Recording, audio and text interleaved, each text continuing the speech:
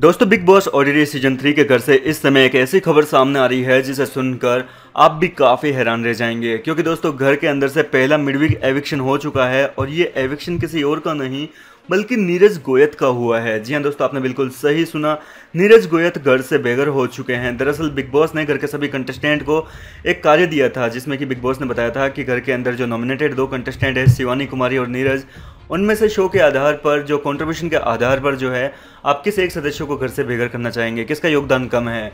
इस दौरान दोस्तों, यहाँ पर घर वालों ने मिलकर नीरज का नाम लिया है। जी हाँ दोस्तों, नीरज का नाम लिया गया है सबसे ज़्यादा बार, जिसकी वजह से नीरज गोयत को पहले ही हफ़्ते घर से बेघर होना पड़ा। जी हाँ दोस्तों, अभी एक हफ़्ता भी पूरा नहीं हुआ है नीरज गोयत को, लेकिन इससे पहले ही मिडविक एविक्शन की प्रक्रिया के ज़रिए नीरज गोयत को घर से बेघर कर दिया है। लाइव फ़ीड में कुछ ही समय में ये टास्क दिखाया जाने वाला है, लेकिन आपको बता दें कि घर के अंदर ये टास्क जो है, वो कंप्लीट हो चुका है, नीरज घर से बेघर हो चुके हैं, और लाइव फ़ीड में पूरी प्रक्रिया कुछ ही समय में दिखाई जाएगी। फ़िलहाल आपका क्या लगता है, क्या घर वालों ने सही फैसला लिया या गलत, आप अपनी राय हमें कॉमेंट करके ज़रूर बताएँ।